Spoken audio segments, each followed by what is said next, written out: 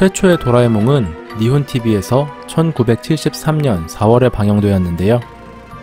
니혼TV는 애니메이션을 어떻게 끌어갈 건지 작가에게 어떠한 정보도 주지 않았다고 합니다. 니혼TV는 원작자가 좋아하지 않았던 오리형 로봇인 가차코를 레귤러 캐릭터로 추가시켜버리기도 하고 퉁퉁이 엄마가 고인이라는 설정도 멋대로 넣어버렸죠.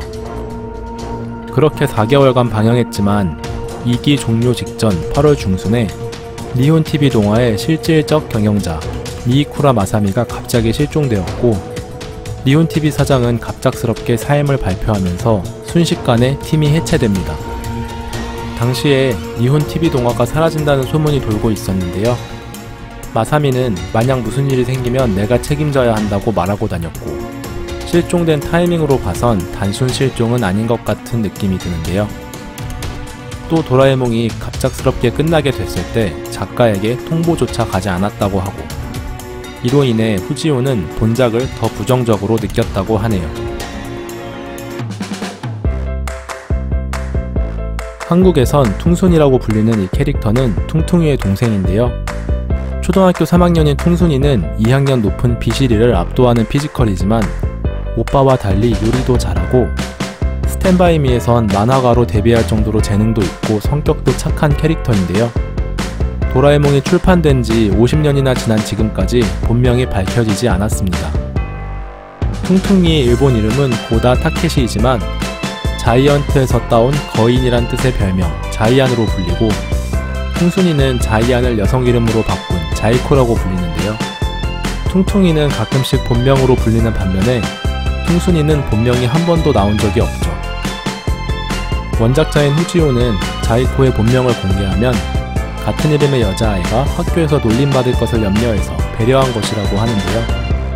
작가 스스로 자이코의 본명은 때가 되면 만화 안에서 밝힐 것이다 라고 했지만 밝히지 못하고 도라에몽을 그리다가 돌아가셔서 영원히 비공개로 남게 됐네요.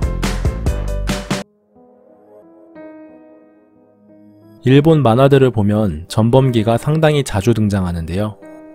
작가가 우익 성향이던가 아니면 아무 생각 없이 사용한 걸 수도 있죠. 어쨌든 간에 그럴 때마다 눈살이 찌푸려지는 건 어쩔 수가 없는데요. 하지만 도라에몽에도 전범기가 사용된 적이 있는데 전혀 다른 목적이었죠.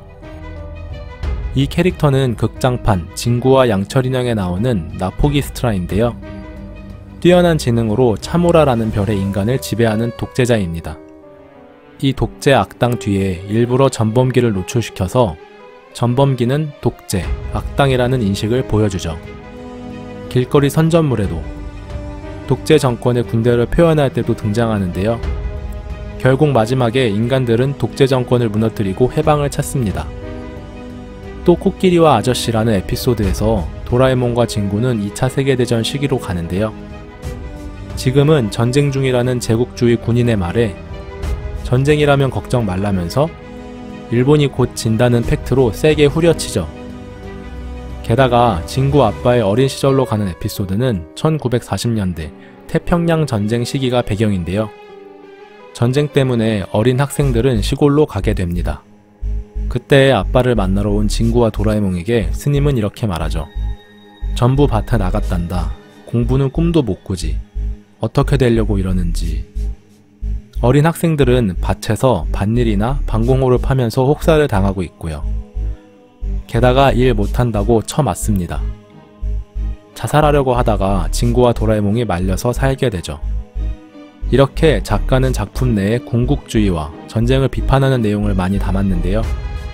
이 정도 내용이면 일본 내에서 검열당하거나 반대도 많았을 텐데 그럼에도 불구하고 국민 만화의 반열에 오르게 한 작가의 배짱이 대단하네요. 시청해주셔서 감사합니다. 동키무비였습니다.